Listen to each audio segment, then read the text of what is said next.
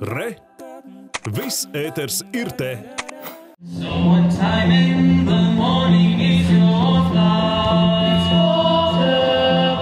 Šis ir fragments no lietuviešu operas Saule un jūra, kas 2019. gadā Venecijas bienālē saņēma augstāko novērtējumu Zelta lauvu.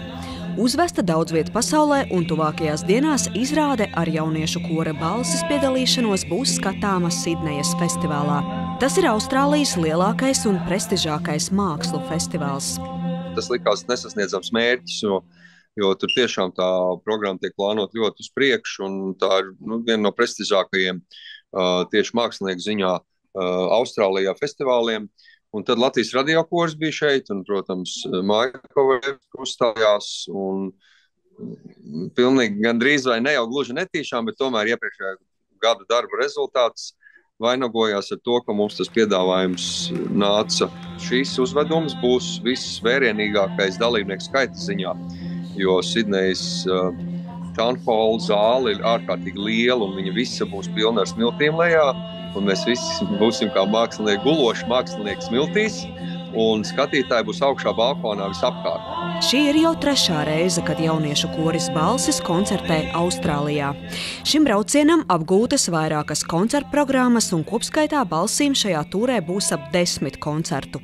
Diezgan pilns tas grafiks. Sākumā likās, ka varbūt būs tāds nedaudz um, varbūt caurāks, ja tā var teikt, un mums lielāka iespēja iepazīt Austrāliju tiem jauniešiem, tā, kam tā ir pirmā reize, bet nu, tomēr būs tāda kārtīga, kārtīgs uh, darba mēnesis. Daudziem šķiet, ka tāds uh, amatieru kurs to vien dara kā dzied dziesmu repertuāru, nu, protams, ka galīgi tā nav.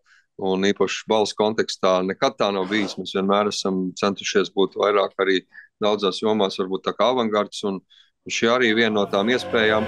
Pēc koncertiem Sidnejā balsu tālākie ceļi vedīs uz Melburnu, kur meistarklasēs kopā ar Austrālijas latviešiem tiks apgūts un slīpēts gaidāmo dziesmu svētku repertuārs. Adelaides mēģinājums bija ļoti labi apmeklēts un tiešām uh, Austrālijas latvieši kārtīgi gatavojas dziesmu svētkiem. Tas vienmēr ir ārkārtīgi būtiski, arī es, mēs ar balsiniekiem vienmēr labprāt esam klāt. Un, jo visi grib, lai meža parka estrādē kopkurs skan labi.